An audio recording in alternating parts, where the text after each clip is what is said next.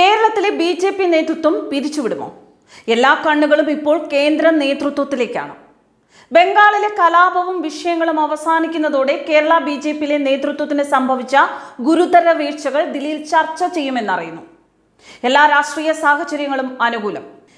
കൈമേയ് മറന്ന് പ്രവർത്തിക്കുന്ന അണികൾ കട്ടയ്ക്ക് കൂടെ നിൽക്കാൻ രാജ്യം ഭരിക്കുന്ന പാർട്ടിയും നേതൃത്വവും അഴിമതിയിൽ മുങ്ങി നിൽക്കുന്ന ഒരു സംസ്ഥാന സർക്കാർ ദുർബലമായ പ്രതിപക്ഷം.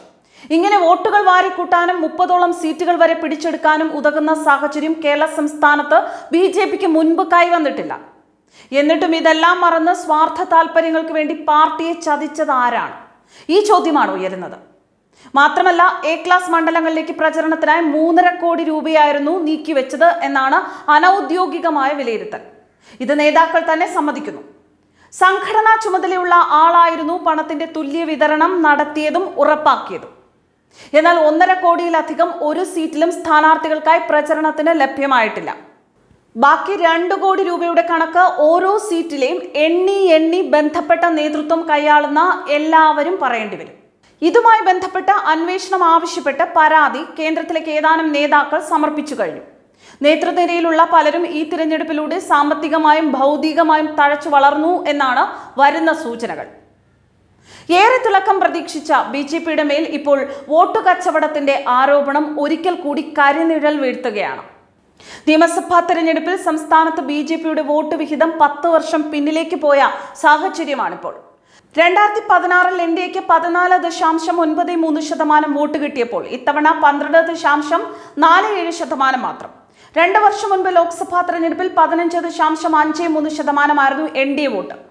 ആയിരത്തി തൊള്ളായിരത്തി തൊണ്ണൂറ്റൊന്നിലെ തിരഞ്ഞെടുപ്പ് മുതൽ ബി ജെ പിയുടെ മേൽ പതിക്കുന്ന വോട്ട് കച്ചവടത്തിന്റെ ആരോപണം ഒരു ദശാബ്ദമായി ഒഴിഞ്ഞു നിന്നുവെങ്കിലും ഇടതു വലതു മുന്നണികൾ വീണ്ടും പൂർവാധികം ശക്തമായി പരസ്പരം ആരോപിക്കുമ്പോൾ ആശയക്കുഴപ്പത്തിലാവുന്നത് അണികളും കേരളീയ സമൂഹവുമാണ്. മണ്ഡലങ്ങൾക്ക് ഗ്രേഡ് വരെ നിർണയിച്ച് കൊട്ടിഘോഷിച്ച പ്രചാരണവും കേന്ദ്ര നിരീക്ഷകരുടെ നേതൃത്വത്തിൽ മാസങ്ങൾ നീണ്ട പ്രവർത്തനവും ഒക്കെ നടത്തിയിട്ടും നിയമസഭാ തെരഞ്ഞെടുപ്പിൽ ബി ജെ പിക്ക് സംസ്ഥാനത്ത് ആകെ വോട്ട് കൂട്ടാനായത് വെറും ഇരുപതിൽ താഴെ മണ്ഡലങ്ങളിൽ മാത്രം.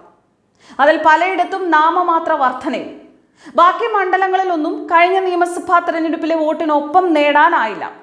രണ്ടായിരത്തി പതിനാറിൽ വിജയിച്ച നിയമം ഉൾപ്പെടെ എ ക്ലാസ്സായി നിശ്ചയിച്ച മണ്ഡലങ്ങളിൽ പകുതിയിലേറെ മണ്ഡലങ്ങളിൽ ഇത്തവണ വോട്ടിൽ ചോർച്ചയുണ്ടായി. അതേസമയം എങ്ങും വിജയിക്കാനായില്ലെങ്കിലും സംസ്ഥാന അധ്യക്ഷൻ കെ സുരേന്ദ്രൻ മത്സരിച്ച മഞ്ചേശ്വരത്തും കോന്നിയിലും ഈ ശ്രീധരൻ മത്സരിച്ച പാലക്കാട്ടും ഉൾപ്പെടെ പത്ത് മണ്ഡലങ്ങളിൽ വോട്ടിൽ ഭേദപ്പെട്ട വർധന ഉണ്ടായി എന്നത് മാത്രമാണ് പാർട്ടിക്ക് ആശ്വാസം പകരുന്നത്. ഇത് ചില മണ്ഡലങ്ങളിൽ മാത്രമാണ് ലോക്സഭാ തെരഞ്ഞെടുപ്പിൽ നേടിയ വോട്ടിൽ അധികമോ അല്ലെങ്കിൽ അതിനൊപ്പമോ വോട്ട് നേടാനായത്. നേമത്ത് കഴിഞ്ഞ ലോക്സഭാ തെരഞ്ഞെടുപ്പിൽ കിട്ടിയ അൻപത്തി എണ്ണായിരത്തിൽ പരം വോട്ട് ഇത്തവണ കുമ്മനത്തിന് കിട്ടിയില്ല. സി കൃഷ്ണകുമാർ മത്സരിച്ച മലമ്പുഴയിലും സുരേഷ് ഗോപി മത്സരിച്ച തൃശൂരും ചാത്തന്നൂരും ആറ്റിങ്ങലും ചിറയൻകീഴിലും ജേക്കബ് തോമസ് മത്സരിച്ച ഇരിങ്ങാലക്കുടയിലും സന്ദീപ് വാര്യർ മത്സരിച്ച ഷൊർണൂരിലും വോട്ടിൽ മുന്നേറ്റമുണ്ടാക്കാൻ സാധിച്ചു. കോഴിക്കോട് സൗത്ത് നോർത്ത് ഹരിപ്പാട് ചടയമംഗലം ആലപ്പുഴ എന്നിവിടങ്ങളിലും വോട്ട് നേരിയ തോതിൽ കൂടി. തിരുവനന്തപുരവും മാവേലിക്കരയിലും വോട്ടിൽ കാര്യമായ മാറ്റമുണ്ടായില്ല. എന്നാൽ കഴിഞ്ഞ തവണ നല്ല പ്രകടനം കാഴ്ചവെച്ച ആറന്മുള കാട്ടാക്കട വട്ടിയൂർക്കാവ് പാറശാല കഴക്കൂട്ടം നെടുമങ്ങാട് വൈക്കം കുട്ടനാട് മണലൂർ കാസർഗോഡ് കാഞ്ഞിരപ്പള്ളി തുടങ്ങിയ എ ക്ലാസ്സായി നിശ്ചയിച്ച മണ്ഡലങ്ങളിൽ ഇത്തവണ വോട്ട് കുറഞ്ഞു.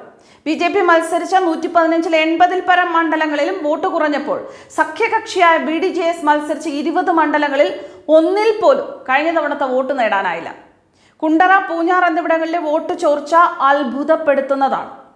മഞ്ചേശ്വരത്ത് കഴിഞ്ഞ തവണത്തെ അൻപത്തി ആറായിരത്തി എഴുന്നൂറ്റി എൺപത്തി ഒന്നിന് പകരം ഇത്തവണ അറുപത്തയ്യായിരത്തി പതിമൂന്ന് നേടിയിട്ടും എഴുന്നൂറ്റി നാൽപ്പത്തിയഞ്ച് വോട്ടിന് തോൽക്കാനായിരുന്നു ജനവിധി.